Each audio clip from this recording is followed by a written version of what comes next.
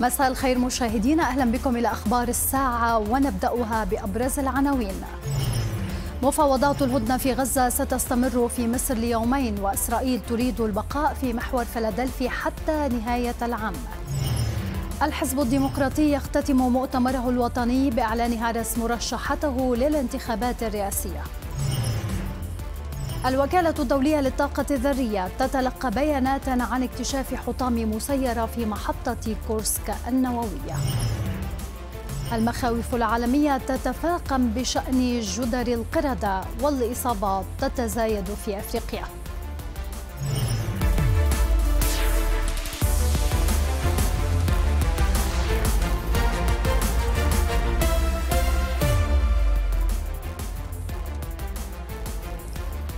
بكم. أفادت مصادر العربية بأن الولايات المتحدة الأمريكية أبلغت الوسطاء أنها ستتولى الضغط على الجانب الإسرائيلي مع ضغط الوسطاء مصر وقطر على حماس وستستمر المفاوضات في مصر ليومين. وحال تجاوز الخلافات سيتم تمديد جلسات المفاوضات. وتضع القاهرة انسحاب الجيش الإسرائيلي من محور فيلادلفي شرطا لإنجاح المفاوضات. في حين ترغب تل أبيب في إبقاء قواتها في المحور ذاته حتى نهاية العام بشكل مبدئي. أعلن مكتب رئيس الوزراء الإسرائيلي بنيامين نتنياهو أن رئيسي جهازي الموساد والشباك وصلا إلى القاهرة إلى جانب وفد أمريكي لإجراء محادثات بشأن اتفاق لوقف إطلاق النار في قطاع غزة. هذا ونفى رئيس الوزراء الإسرائيلي بنيامين نتنياهو صحة التقارير التي تتحدث عن بحث إسرائيل فكرة نشر قوى دولية في محور فيلادلفي. وأكد مكتب نتنياهو أنه متمسك بسيطرة إسرائيل على محور فيلادلفي. قالت المبعوثة الأمريكية لدى الأمم المتحدة ليندا توماس جرينفيلد في جلسة مجلس الأمن المخصصة للوضع في غزة والشرق الأوسط قالت أن اتفاق وقف إطلاق النار في غزة وإطلاق سراح الرهائن يلوح في الأفق وأن إسرائيل قبلت المقترح المحدث للصفقة. بينما حثت جرينفيلد المجلس المكون من 15 عضوا على الضغط على حماس لقبول مقترح لسد الفجوات بين الجانبين. ودعت إسرائيل للإفراج عن كل أموال الضرائب الفلسطينية. The United States ironclad support for Israel's security. الولايات المتحدة ملتزمة بأمن إسرائيل وفي الوقت ذاته تدعم المحادثات الجارية. إن اتفاق وقف إطلاق النار في غزة وإطلاق سراح الرهائن يلوح في الأفق الآن. وعلى مجلس الأمن أن يواصل إرسال رسائل قوية إلى الجهات الفاعلة الأخرى في المنطقة لتجنب الإجراءات التي قد تعرقل إتمام هذا الاتفاق. استعادة إسرائيل للمحتجزين من غزة سواء كانوا جثثا أو أحياء. هي عملية معقدة استدعت تدخل الذكاء الاصطناعي ولجانا استخباراتية. معلومات استخباراتية إسرائيلية خلصت. إلى مقتل أكثر من أربعين رهينة تمت استعادة ثلاثين منهم فقط حتى اللحظة في عمليات متفرقة. فتحديد أماكن هذه الجثث مهمة لا تقل تعقيدا مع اقدام حماس على إخفائها بعناية وأحيانا في أكياس قمامة داخل أنفاق غزة. أنقاذ الرهائن الأحياء أكثر ندرة أيضا مع الحاجة لمعلومات استخباراتية أكثر تفصيلا قد يشوبها هامش خطأ كبير، ما دفع بتل أبيب للجوء إلى التكنولوجيا الحديثة والذكاء الاصطناعي لتجميع قطع الأحجية. في مقدمتها مثلا تحليل الأجهزة الإلكترونية المضبوطة من حماس خلال العملية البرية كالهواتف والحواسيب واستخراج كميات هائلة من البيانات الموجودة عليها. اللجوء للاستخبارات البشرية أيضا اتسم بالأهمية نفسها وما تخلله من استجواب للسكان في غزة أو المعتقلين واعتراض المكالمات الهاتفية لجمع معلومات عن أماكن البحث.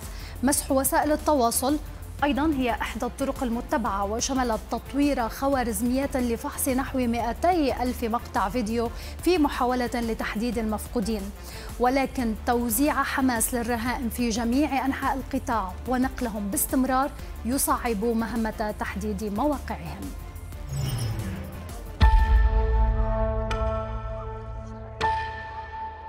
كفوا الحرب ووقف الحرب. الحرب بدنا إياها تقع. خلاص معي يا عمي بكفي معي معاناة. بيع القدس بيع الضفة بيع كل فلسطين. بس روحنا وقف الحرب. يا سنوار يا أبو إبراهيم ارحم شعبنا. يعني الحرب كلها اللي صارت إيش رجعت لنا؟ إيش عملوا لنا؟ إيش سووا لنا في هالحرب يعني هذه؟ كنا في الأول نتكلم على على حاجات إحنا نتمناها. اليوم صرنا نطالب في حاجات كانت عندنا موجودة. كانت نتسرين بين إيدينا. كان معبر رفح بين إيدينا. اليوم صرنا نطالب في حاجات كانت عندنا موجودة. سواء الحدود المعابر النتسريم غيره. هذه كانت بين إيدينا موجودة. لوقت إيش يا مسائلنا نظل هذا الكلام. أنت يا قائدنا يا مسؤولنا يا م... يا متكلم باسمنا يا م... يا مسؤول عنا. أنت اللي وجه الكلمة الحقيقية إنه الشعب استوى الشعب انهلك. ينضم إلينا من تل أبيب عبر زوم علي واكد الصحفي المختص في الشأن الإسرائيلي. أستاذ علي أهلا ومرحبا بك معنا في أخبار الساعة لهذه الليلة. الاجتماع مستمر في القاهرة على مدى يومين والأنباء على الأقل من الجانب الأمريكي تشير إلى موافقة تل أبيب على المقترح المحدث من الإدارة الأمريكية للمفاوضات وهناك ضغط أيضا على حماس في هذه المرحلة هل حقيقة عدنا مرة جديدة للحديث على أن هناك اتفاق قد يلوح في الأفق قريبا؟ يعني إذا ما شمل المقترح الأمريكي بقاء إسرائيل بالكامل في محوري فيلادلفي ونتسريم وتحكمها بقوائم الأسرى التي ستفرج عنهم. فيمكن أن نقول أن يعني يحدث تقدم ولكن لا أعتقد أن هذا هو المقترح الأمريكي ولا أعتقد أن الطرف الفلسطيني سيقبل بهكذا مقترح. أنا أعتقد أن ولا حتى المصري. ولا حتى المصري طبعا أنا أعتقد أن المفاوضات الحقيقية تتم بين الجانب الإسرائيلي وداخل الجانب الإسرائيلي بين ديوان رئيس الحكومة وبين الوفد الذي وصل إلى القاهرة يعني حينما نسمع من مسؤولين إسرائيليين يقولون أن نطلب من الجانب المصري والقطري أن يضغط على حماس لكي تساعدنا من أجل تليين الموقف عند بنيامين نتنياهو. هذا يعكس صورة الوضع. بنيامين نتنياهو أوضح حتى في الساعات الأخيرة. لا نية لديه بالانسحاب من محور فيلادلفيا ولا حتى من محور نتسرين بالمناسبة هو ولكن يعني ماذا يعني عندما عندما يقول بأنه حتى نهاية العام؟ يعني ممكن أن أن يكون مطروح مثلا خطة الانسحاب بعد نهاية هذا العام؟ يعني بالنسبة لبنيامين نتنياهو مسألة كسب الوقت هي الورقة الأساسية التي يلعب بها بنيامين.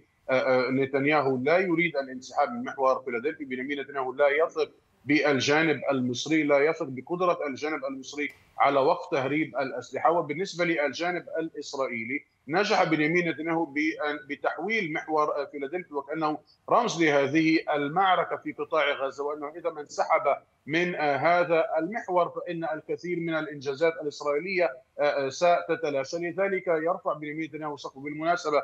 الوفد المتوجه إلى القاهرة يعني سيطلب بتطوير بطلب من بنيامين نتنياهو من الجانب المصري إعادة فتح اتفاق محور فيلادلفي الذي يعود للعام 2005 حينما انسحبت إسرائيل من قطاع غزة وتوصلت مع الجانب الإسرائيلي إلى ملحق في بشأن هذا المحور بنيامين نتنياهو يطالب ما تفاصيل هذا الاتفاق؟ تفاصيل هذا الاتفاق أن الجانب المصري يتكفل بكل المسؤولية والملقاة على عاتق دولة لا حدود مع دو مع طرف ثالث يوجد بينه وبين إسرائيل صراع، مصر تتكفل بعدم السماح بتهريب أسلحة وبمراقبة كل شيء يمكن له أن يحدث خلل في التوازن الأمني في المنطقة، إسرائيل تعتقد أن عمليات التهريب التي جعلت من حماس هذه القوة المسلحة جزء كبير منها يعود لا تريد أن تقول لتواطؤ مصري ولكن لإهمال مصري وهذا نعم. يخلق يعني أيضا توتر بين الجانبين الإسرائيلي والمصري حينما يفتح بنيامين نتنياهو جبهة مفاوضات أخرى لا تتعلق بملف نعم. الأسرى المباشر الذي من شأنه ومن اجله ذهب الوفد ولكن يفتح مفاوضات إسرائيلية مصرية بشأن ترتيبات المعبر. هذا يعني نعم. بنيامين ويعني هي المعضلة الأكبر هذا المحور على وجه التحديد محور فلادلفي بكل الأحوال نكتفي بهذا القدر. شكرا جزيلا لك على كل هذه الإيضاحات من تل أبيب. عبر زوم كنت معنا علي واكد الصحفي المختص في الشأن الإسرائيلي. قال مندوب فلسطين في الأمم المتحدة للعربية أن الجانب الفلسطيني وجه دعوة لأعضاء مجلس الأمن لزيارة قطاع غزة مع الرئيس الفلسطيني محمود عباس بهدف الضغط على إسرائيل لوقف الحرب. نقلنا إلى الأمين العام موقف القيادة الفلسطينية ومبادرة السيد الرئيس محمود عباس بالتوجه مع القيادة الفلسطينية إلى غزة داعيا الأمين العام للمشاركة وداعي وكذلك بعثنا مذكرة بنفس المضمون إلى مجلس الأمن وإلى أعضاء مجلس الأمن عبر رئيس مجلس الأمن داعين الجميع إلى أن يساهموا في هذا المسعى. وتواصل الولايات المتحدة دعمها لإسرائيل لزيادة طمأنة حليفتها الأقرب. وواصلت طوال عشرة أشهر تعزيز حضورها العسكري في المنطقة. الإضافة الأحدث. وصول حاملة الطائرات USS إبراهام لينكولن ومدمرات مرافقة مع ثلاثة ألاف بحار. إرسال حاملة الطائرات هذه يأتي لتعويض حاملة الطائرات ثيودور روزفلت.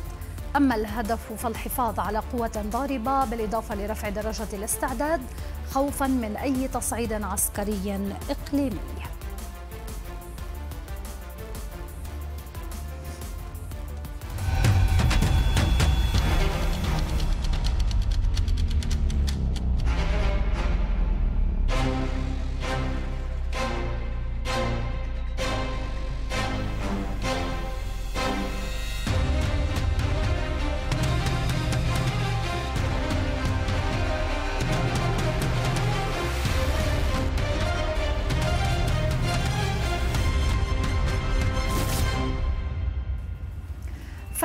ممكن بالذكاء الاصطناعي في الجيش الأمريكي. هدف شرف البنتاغون على تحقيقه من خلال نظام ميفن سمارت.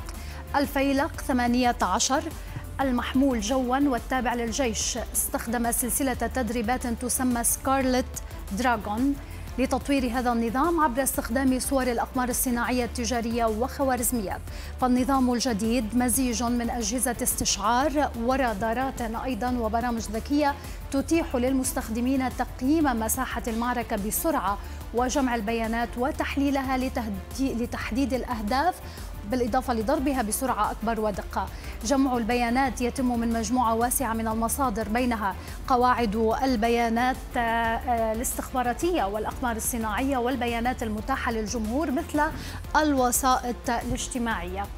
النظام يسمح أيضا لفرق الجيش الصغيرة بتمرير الهدف الرقمي بأقل من دقيقة عوضا عن 12 ساعة وبالتالي ضرب نحو ألف هدف في الساعة. وبالتالي يتيح الاستغناء عن عملية إطلاق يدوية. قد تشوبها الأخطاء من جميع البيانات إلى معالجتها وطلب الإذن ومطابقة الذخائر. من المتوقع أيضا أن يظهر النظام لأول مرة على نطاق واسع خلال مناورة قيادة عسكرية أمريكية يابانية في المحيط الهادئ في أواخر عام 2026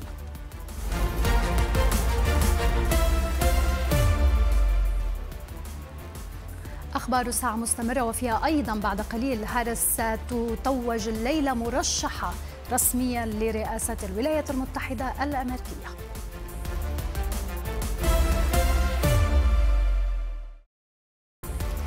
أهلا بكم من جديد. تختتم نائبة الرئيس الأمريكي كامالا هاريس المؤتمر العام للحزب الديمقراطي هذه الليلة بقبول الترشيح الرئاسي من حزبها في آخر أيام مؤتمر شيكاغو. في المقابل حضر اسم المرشح الجمهوري للرئاسة الأمريكية دونالد ترامب بشكل كبير خلال كلمات المشاركين في مؤتمر الحزب الديمقراطي. ترامب نجم مؤتمر الحزب الديمقراطي في شيكاغو أو لنقل اسمه يتكرر على ألسنة كل المتحدثين هناك. الجميع يسعى لتقويض صورة الرئيس السابق رغبة في ترجيح كفة هاريس في السباق. ليس بايدن أو نائبته فقط بل كل الآخرين تقريبا. كل متحدث في القاعة الرياضية العملاقة خصص حيزا مهما من كلامه للنيل من المرشح الجمهوري. الرئيس الأسبق باراك أوباما هاجم ترامب واتهمه بالكذب وبأنه لا يتوقف عن النحيب. ترامب لا يهتم سوى بمصالحه وأهدافه الشخصية ويروج لنظريات مؤامرة مجنونة. إنه رجل لا يتوقف عن النحيب.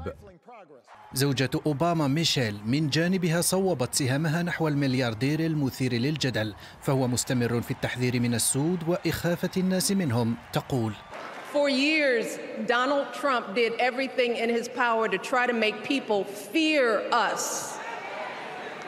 See, his, his limited, narrow view of the world made him feel threatened by the existence of two hard-working, highly educated, successful people who happen to be black.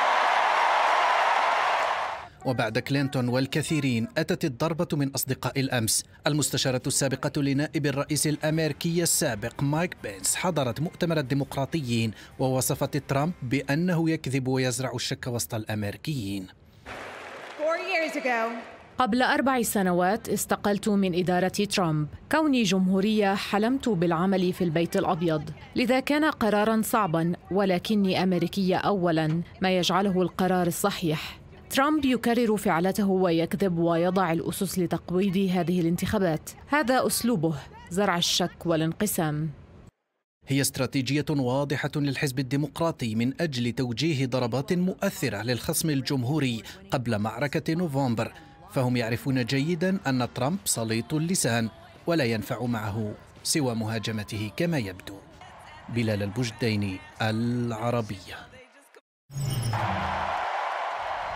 Donald Trump. Donald Trump. Donald Trump. Donald Trump. Donald Trump. Donald Trump. Donald Trump. Trump. Donald Trump. Donald Trump. Donald Trump. Donald Trump. Donald Trump. This is not just about us versus Donald Trump. Since the that charade that they have going on, they mentioned my name, I think, 271 times. They mentioned me more than any other category. I'm now a category. They had me down today as a category.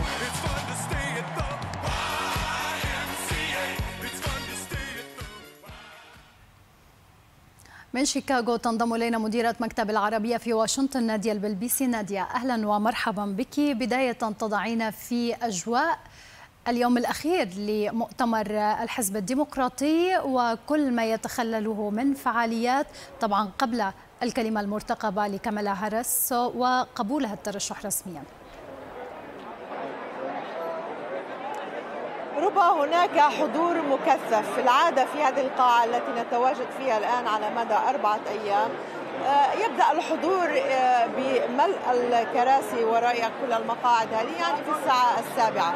اليوم بالتحديد لأنه الكل ينتظر كلمة كاميلا هاريس حضروا الساعة الرابعة والنصف. يعني تصور الآن القاعة مليئة بأكثر من 21 ألف شخص جالسين. هناك أيضا صفوف من الواقفين. والانتظار قد يكون لأربع أو خمس ساعات. إذا الحماس على أشده والتوقعات أيضا بأنه هل ستأتي تيلر سويفت وهي أهم مشهورة أهم مغنية أمريكية في العالم كله ليس فقط هنا أم لا؟ أيضا هذه ربما مفاجآت. بالأمس كانت مفاجأة حضور كما تحدثنا أنا وأنت اوبرا وينفري لكن هذا هو أهم خطاب ربما في الحياة السياسية لكاميلا هاريس. عليها أن تقدم نفسها للأمريكيين، نحن نعرف من هي كاميلا هاريس لكن معظم الأمريكيين لا يعرفونها، لديها حوالي 70 يوما حتى تقنعهم بأنها هي المرشحة الأفضل لكي تمثل الشعب الأمريكي وطموح الأمريكيين ومطالب الأمريكيين، نحن نتحدث عن وضع اقتصادي صعب، عن حاله تضخم، بطالة، موضوع الحدود والهجرة الغير نظامية أيضا مهمة جدا بالنسبة للأمريكيين، وبالتالي النسب حتى الآن هي ضمن هامش الخطأ حتى لو تقدمت بالاستطلاعات الوطنية.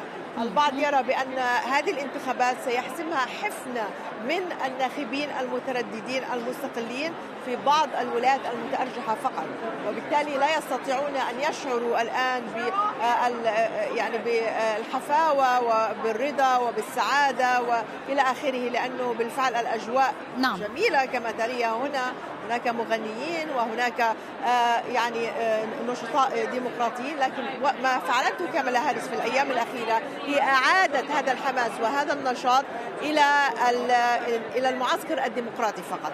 لكن هذا لا يوصلها إلى البيت الأبيض. عليها أن تقنع الناخبين المترددين أو المستقلين. وأيضا في نقطة إضافية تطفو على السطح وخلف ستار كل هذه الفعاليات وكل هذا الزخم في مؤتمر الحزب الديمقراطي. هناك من يشير أو مواقع عالمية تشير إلى خلافات أيضا تجري بين التقدميين وأعضاء أكثر اعتدال في الحزب الديمقراطي ممكن أن تؤثر على فرص نجاحهم في هذه أو فوزهم في هذه الانتخابات هل هذا يعني يتبين أو له بصمات في هذه الفعاليات؟ إلى حد ما هناك شعور بخيبة الأمل لأنه نحن اليوم الرابع إلا إذا حصلت تغيير في الجدول في اللحظة الأخيرة. آه، حتى الآن كان هناك مفاوضات بين المشرفين على مؤتمر الحزب الديمقراطي وما يسمى بمجموعة الغير ملتزمين بالتصويت وهم ديمقراطيين معظمهم عرب وأمريكيين. وضعوا مطالب وقالوا بأننا نريد وقف إطلاق النار نريد عدم إرسال أسلحة لإسرائيل بأن مطالبنا هي حرية وعدالة تماما كما يطلب باقي الأمريكيين في هذا المؤتمر وخصوصا الديمقراطيين. لكن لم يعطي ذا بلاتفورم لم يعطوا أي منصة للحديث ولا حتى دقيقتين. رغم ذلك سمعنا بالأمس من أب وأم لرهين إسرائيلي أمريكي موجود في غزة وكان تعاطف كبير. يعني ما تنسي الآن هذا هذا المؤتمر يشاهده بداخل القاعة حوالي 25 ألف لكن على مستوى الولايات المتحدة 22 مليون ليلة أمس كانوا والليلة أكيد سيكون الرقم أعلى. نعم. وعلى فكرة هو تفوق حتى على مؤتمر الحزب الجمهوري. والنسب أعلى من مشاهدة الحزب الجمهوري. لذا أعتقد بأن هناك غضة يعني أنه بالنهاية هذه هذه قضية مساواة وعدل. وهم يعملون بأن سياسات كاميلا هاريس مختلفة عن سياسات بايدن. وكان أيضا هناك بعض الانتقادات لكثرة ذكر اعذريني على المقاطعة ولكن قبل أن ينتهي الوقت كان هناك بعض الانتقادات ربما لكثرة ذكر دونالد ترامب من قبل السياسيين والديمقراطيين الذين تحدثوا في هذا المؤتمر. لذلك أصداء أيضا. أنا تحدثت مع أكثر من مسؤول ديمقراطي هنا. هم يعتبرونها ضمن العادي أو المتوقع. يعني هم يقولون بالنهاية الخصم لكاميلا هاريس هو دونالد ترامب. شيء طبيعي أن يتم مهاجمته. وجزء من كل خطاب سياسي هو مهاجمة الخصم ثم الحديث عن البرنامج السياسي للشخص الآخر المرشح الآخر. الليلة بالتحديد كاميلا هاريس تتحدث عن حياتها عن قصصها الشخصية عن أسرتها كمهاجرة أتت وحققت الحلم الأمريكي هنا. ومن ثم ستتحدث عن برنامجها الانتخابي عن خفض أسعار الأدوية وعن الضمان الاجتماعي وعن التمسك بالحرية والديمقراطية وحق المرأة بالإنشاد وإلى آخره. لكنها لن تدخل بتفاصيل. يعني هذا الخطاب هو ليس شبيه بحال الاتحاد عندما الرئيس يعرض بشكل عام إنجازاته أو ما يريد أن يحقق لكن لو يدخل بالتفاصيل. هذه التفاصيل سنسمعها يوم 10 سبتمبر عندما تكون المناظرة الأولى بينها وبين دونالد ترامب نعم. وهو الذي ربما الحد الفاصل. نعم. سنرى كيف سيكون أداءها وهذا سينعكس نعم بالتأكيد. شكرا لك وبالتأكيد دائما سنتابع معك خلال هذه الليلة كل التطورات وهذه الفعاليات من شيكاغو. كنت معنا مديرة مكتب العربية في واشنطن نادية البلبيسي. وراء مظاهر وحدة الديمقراطيين وتحت ستار الاستعراض القوي للالتفاف حول المرشحة كمالا هاريس خلال مؤتمرهم في شيكاغو. تتوارى خلافات هادئة ومعارك مؤجلة بشأن مواقف الحزب الديمقراطي ومواقف هاريس بشأن قضايا شائكة كالهجرة وإسرائيل وفق موقع أكسيوس.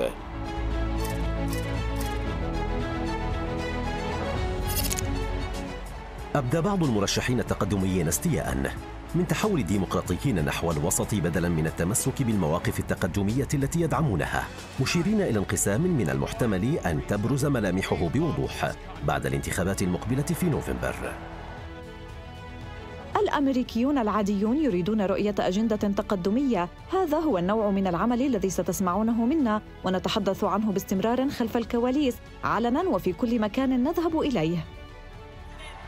تراجعت هاريس عن العديد من المواقف التقدمية التي اتخذتها في عام 2020 بما في ذلك دعم حظر التكسير الهيدروليكي لاستخراج النفط والغاز وحظر بيع الأسلحة الهجومية وتوسيع المحكمة العليا. البرنامج الانتخابي الديمقراطي قيد هذه المواقف وسحبها نحو الوسط مع إضافة لغة أكثر تشددا بشأن أمن الحدود. وتجري معركة أخرى بين التقدميين والمؤسسة الديمقراطية حول كيفية تعامل مؤتمر الحزب الديمقراطي مع المندوبين المؤيدين للفلسطينيين الذين يضغطون للحصول على مساحة للحديث. هل يريدون أن يكونوا على صواب أم يريدون الفوز؟ إذا أردنا الفوز فإننا بحاجة إلى جذب ليس فقط الديمقراطيين بمجرد أن نكون في السلطة يمكننا إجراء تلك المناقشات. لفت موقع أكسيوس إلى استعداد بعض المشرعين التقدميين للحديث علنا عن مخاوفهم فرغم تأجيل الانقسامات الداخلية هذا العام لكنها لن تبارح مكانها على المدى الطويل.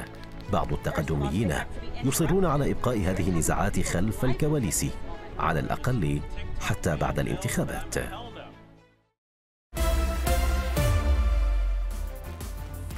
في قلب حي سكني في كابول تعمل سيدة أفغانية في صالون تجميل سري متخفية وراء قناع. السيدة تبدي شجاعتها في مواجهة قواعد نظام حركة طالبان التي أعادت عقارب الساعة إلى الوراء وبات التجميل ممنوعا.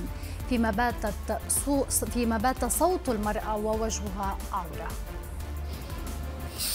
بعيدا عن عيون طالبان تستقبل زبوناتها في صالون التجميل الذي تديره. موظفاتها ينمن هنا.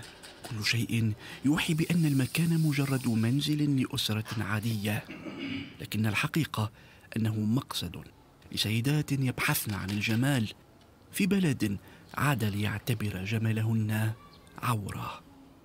تتابع عملها بحذر شديد. ففي كل لمسة فرشاة تكتسب كل حركة معنى أكبر وكأنها ترسم خطوطا على خريطة الممنوعات في عالم طالبان.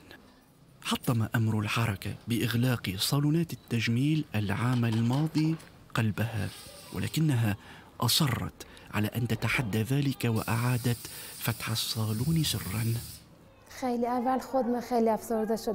لقد وجدنا هذا المكان للإيجار بشرط أن تأتي الزبونات بتكتم شديد وأن تنام بعض موظفاتنا هنا حتى يعتقد الجيران أن هناك أسرة تعيش هنا. بالنسبة للحركة التي استعادت حكم البلاد بعد أكثر من عقدين صوت المرأة عورة لكن المقاومة تبدو خيارا لكثير من النساء. عندما يعثر عناصر طالبان على صالون تجميل يقومون بكسر المعدات وبالاعتداء على العاملات مع ترك خيارين لا ثالث لهما الغرامة أو السجن. هكذا اذا تتساقط أحلام النساء الأفغانيات كأوراق خريفية أو تسقط في قبضة طالبان الحديدية.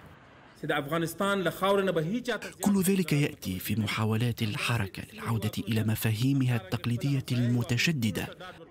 كأن عقدي الديمقراطية بعد التدخل الأمريكي لم يكونا ابدا.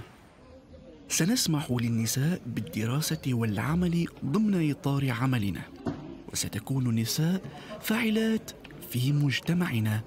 جملة قالتها حركة طالبان عندما استولت على السلطة في الخامس عشر من أغسطس 2021 لكنها جملة تبدو اليوم بالنسبة لكثيرين مجرد خدعة.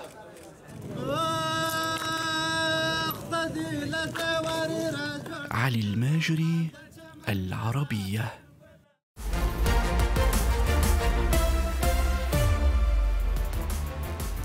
ولدينا أيضا في أخبار الساعة.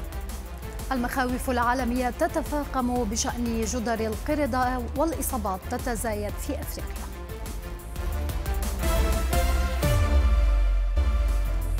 أهلا بكم من جديد. قال الرئيس الأوكراني ان توغل قواته في كورسك الروسية جزء من الجهد لإنهاء الحرب ولكن بشروط. هذا وكان زلنسكي نشر صورا يقول إنها لزيارته مدينة سومي الحدودية. وذلك بعد أسبوعين من توغل كييف في منطقة كورسك. عملياتنا الدفاعية في منطقة دونيتسك ومنطقة خاركيف في جنوب أوكرانيا وتحريرنا من الأسطول الروسي في البحر الأسود وعمليتنا في منطقة كورسك وضرباتنا شبه اليومية على أهداف عسكرية روسية. أمور تمثل هدفنا الرئيسي وجهدنا المنهجي في الدفاع عن أوكرانيا. قال المدير العام للوكالة الدولية للطاقة الذرية رافائيل جروسي أن روسيا أبلغت الوكالة بالعثور على حطام طائرة مسيرة على أراضي محطة كورسك للطاقة النووية.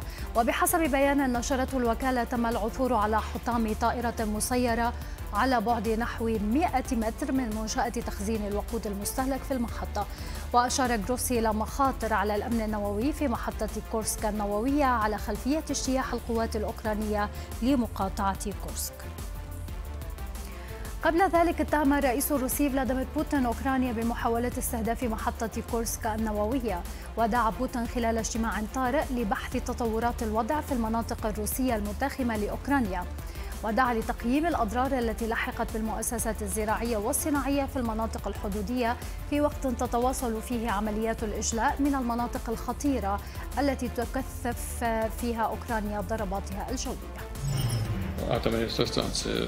حاول العدو الليلة الماضية مهاجمة محطة الطاقة النووية في كورسك وقد تم إبلاغ الوكالة الدولية للطاقة الذرية بذلك وقد وعدوا بإرسال خبراء لتقييم الوضع وآمل أن يتم ذلك. حذرت السفارة الأمريكية في كييف من هجمات روسية بصواريخ وطائرات مسيرة تزامنا مع الاحتفالات بالذكرى الثالثة والثلاثين لاستقلال أوكرانيا عن الاتحاد السوفيتي والتي ستقام في الرابع والعشرين من الشهر الجاري. أفادت وكالة تاس للأنباء الروسية بغرق سفينة محملة بالوقود في ميناء القوقاز الروسي بعد هجوم أوكراني.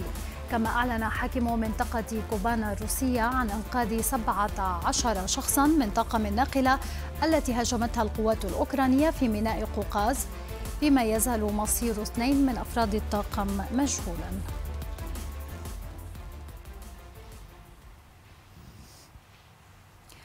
معنا عبر سكايب من لاهاي الدكتور باسل الحاج جاسم باحث في العلاقات الروسية الأطلسية والقوقاز. دكتور باسل أهلا ومرحبا بك معنا في أخبار الساعة لهذه الليلة. عندما يقول زيلينسكي أن توغل قواته في كورسك الروسية هو جزء من الجهد لإنهاء الحرب ولكن بشروط. إلى أي مدى هذا يوحي أو يعني بأن زيلينسكي حقيقة ينتظر وكييف عموما تنتظر أي فرصة لمفاوضات ويحسنون شروطهم بهذا التوغل في أي مفاوضات مرتقبة. مساء الخير لك وللمشاهدين الكرام. في الواقع الواضح أن أوكرانيا تحاول خلق وضع تفاوضي جديد وهذا يعني يتوضح من خلال سواء التصريحات الرسمية التي نسمعها من زيلينسكي أو سبق من أحد مساعديه أو حتى من الأعمال العسكرية وأبرزها هو هجوم كورسك. فشهدنا ربما تصريح لزيلينسكي يتحدث أن الهدف هو نقل المعركة إلى أرض روسيا وأيضا خلق منطقة عازلة تمهيدا لمفاوضات بحسب شروطنا. لكن المفارقة أنه بعد هذا الهجوم سمعنا أيضا تصريحات رسمية روسية أن بعد عملية أو هجوم كورسك لا تفاوض مع أوكرانيا. لكن بالمجمل بعد أيام هناك زيارة ولكن ولكن مع كل هذا التوغل المستمر وعلى ما يبدو أوكرانيا حتى الآن يعني بحسب الخبراء تحافظ على المواقع والمناطق التي تقدمت فيها، هل ممكن أن تجد موسكو نفسها مضطرة للخوض بمفاوضات هذه بالنهاية أراضي روسية لأول مرة يتم التوغل فيها من قبل أي دولة منذ الحرب العالمية الثانية؟ صحيح لكن من جهة أخرى لو ننظر إلى المساحة التي سيطرت عليها أوكرانيا وتتجاوز بحسب العديد من المصادر أكثر من ألف كيلومتر مربع مقارنة بالأراضي التي تسيطر عليها روسيا في شرق أوكرانيا سواء في دونباز أو خيرسون أو زباروجو التي باتت وفق الدستور الروسي جزء من الأراضي الروسية. الأراضي في كورس والتي تحت سيطرة أوكرانيا لا تعادل سوى 1% من الأراضي الأوكرانية التي تحت سيطرة روسيا.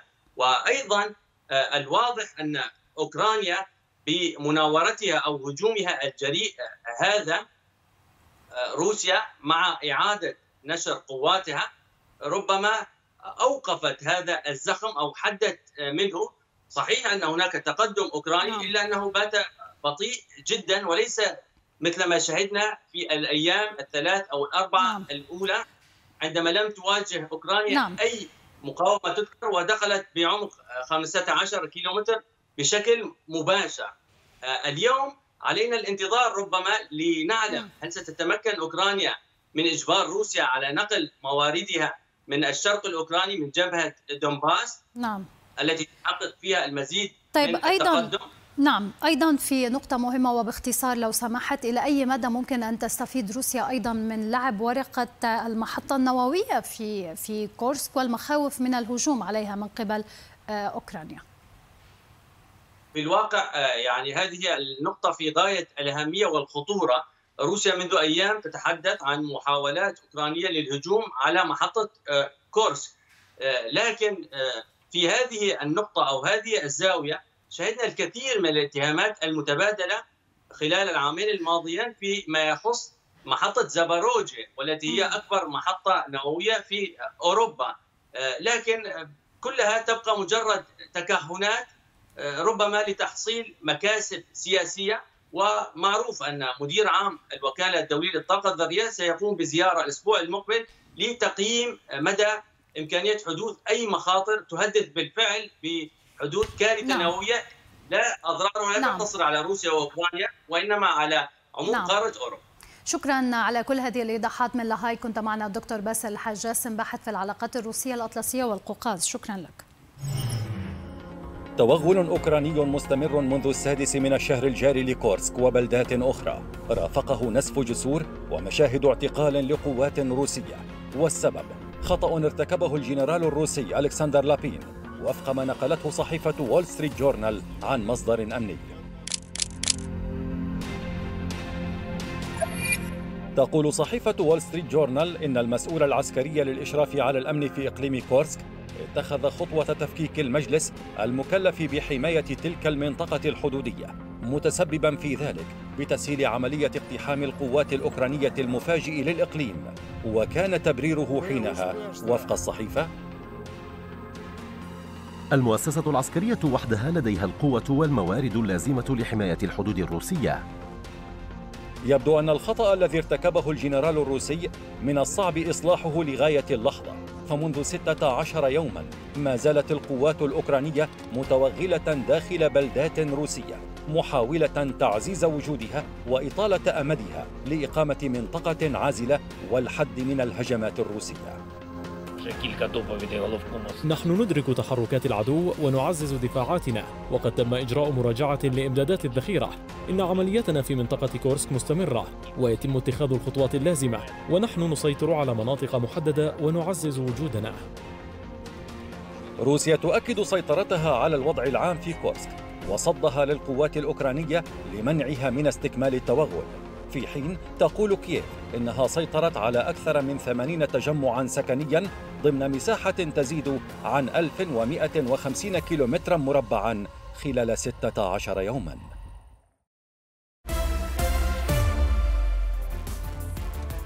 رفعت قاعدة الناتو الجوية في مدينة جايلنكيرشن الألمانية مستوى التأهب الأمني في مرافقها بسبب ما وصفته بالتهديد المحتمل.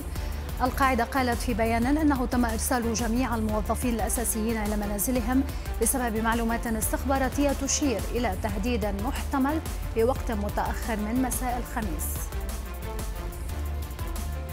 حذر مدير مكتب رئيس الوزراء في المجر جرجيلي غولياس من أن بلاده قد تلجأ إلى إرسال المهاجرين مجانا إلى بروكسل إذا استمر الاتحاد الأوروبي في الضغط لقبول المزيد من طالبي اللجوء. إذا استمرت رغبة بروكسل في فرض نظام على المجر لا يسمح باعتقال المهاجرين عند الحدود فإننا سنعرض على كل مهاجر عند الحدود المجرية النقل الطوعي إلى بروكسل مجانا. إذا كانت بروكسل تريد مهاجرين سيكون بإمكانها استقبالهم.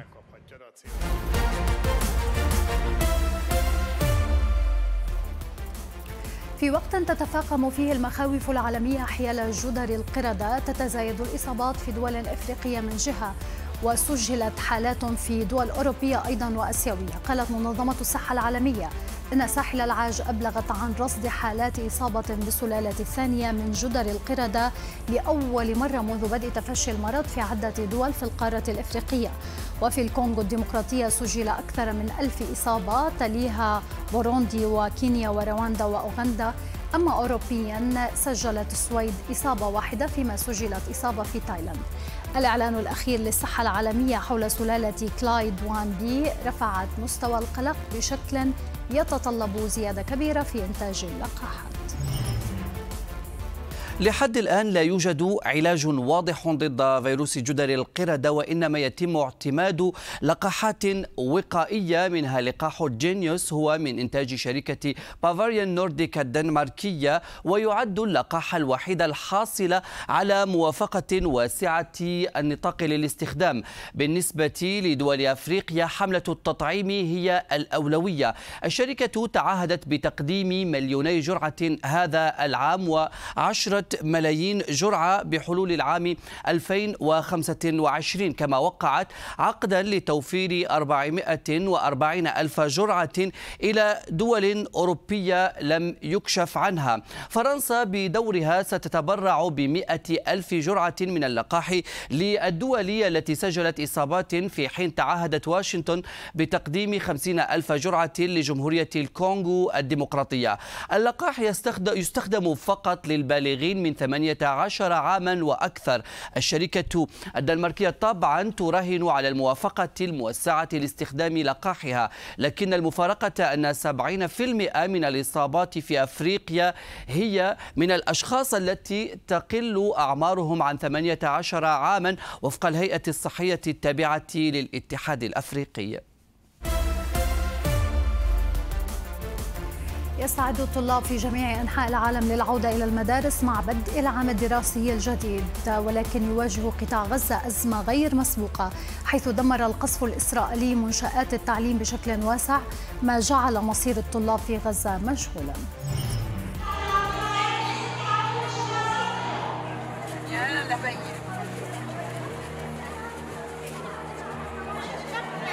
هكذا كان افتتاح العام الدراسي في مدرسة بنات النصيرات العام الماضي. وهكذا أصبح.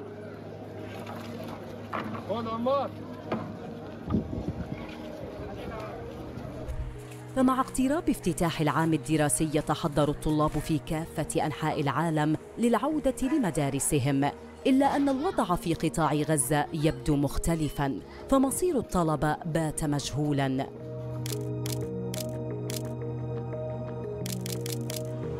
على أنقاض منزل مدمر تجلس الطالبة شهد أبو عمر متحدية ظروف القطاع الصعب ساعية لاستكمال مسيرتها التعليمية ولتتمكن من التعلم عن بعد والاستعداد لامتحاناتها النهائية التي ستجرى بعد أسابيع قليلة تقطع شهد رحلة يومية محفوفة بالمخاطر للحصول على اتصال بالإنترنت فهي طالبة في سنتها الجامعية الثالثة في تخصص علوم الكمبيوتر.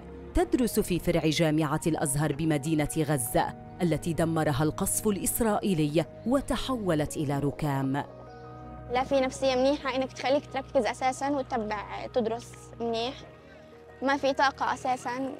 كل شوي أنت بمكان أنت الآن قاعد موجود في مكان مش عارف كمان شوي وين حتروح.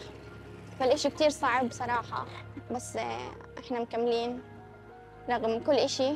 بس على أمل إنه ما يكون الوقت كله كل السنة راحت على الفاضي فبندور إنه شوي نكون حصلنا إشي منيح في السنة اللي راحت. تضررت منشآت التعليم في غزة بشكل هائل.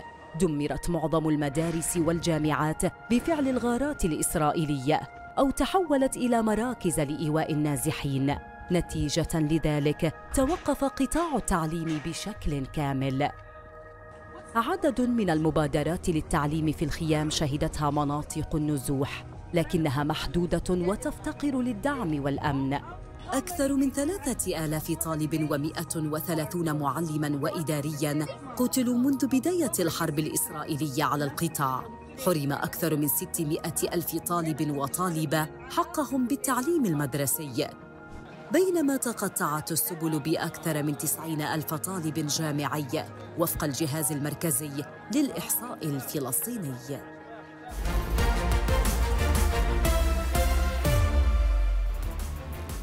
أعين العالم بأسره تسمرت على شواطئ صقلية حيث تواصلت أعمال البحث عن آخر مفقودة في حادثة اليخت المنكوب. قصة عجيبة شغلت العالم وفصولها مثيرة بكل معنى الكلمة.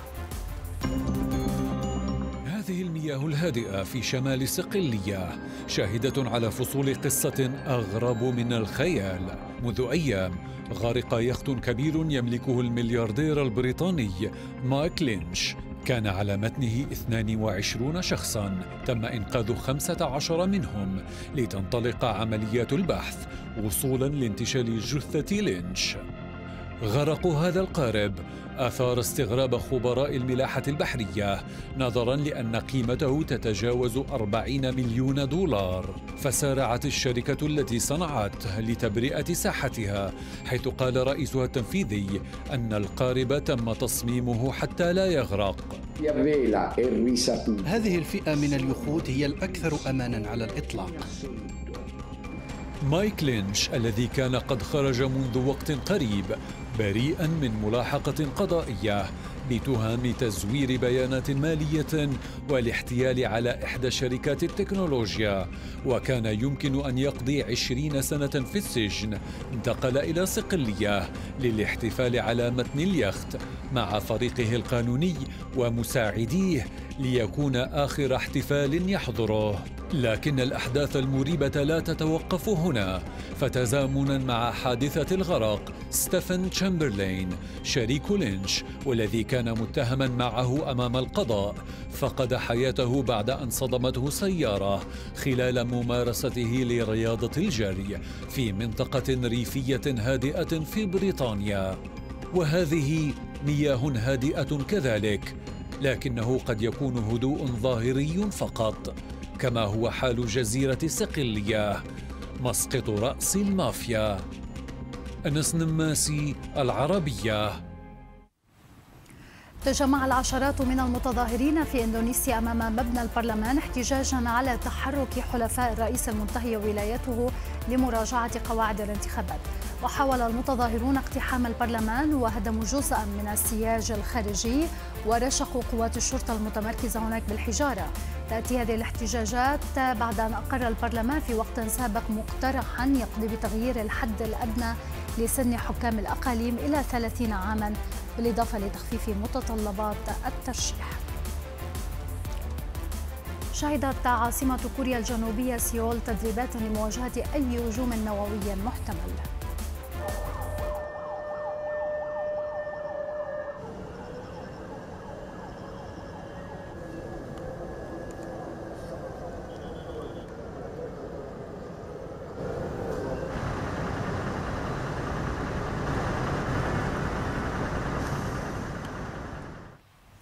قال مراسل العربية أن مياه نهر القاش المنحدرة من المرتفعات الإريترية غمرت أجزاء واسعة من منطقتي ريفي أروما وشمال الدلتا في ولاية كسلا شرقي السودان. وتسببت بموجة الفيضان في عزل نحو 37 قرية عن بعضها البعض وصعبت من إمكانية وصول المساعدات الإنسانية للمنكوبين الذين ينتظرون الاستجابة العاجلة. غمرت الفيضانات أيضا مناطق واسعة في مقاطعة شيانغري شمالي تايلاند بعد هطول أمطار غزيرة جراء استمرار منخفض استوائي ضرب المنطقة.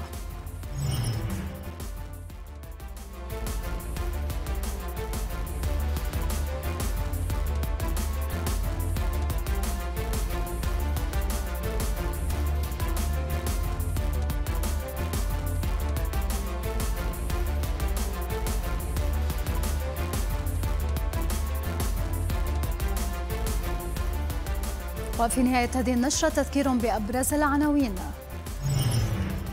مفاوضات الهدنة في غزة ستستمر في مصر ليومين وإسرائيل تريد البقاء في محور فيلادلفي حتى نهاية العام.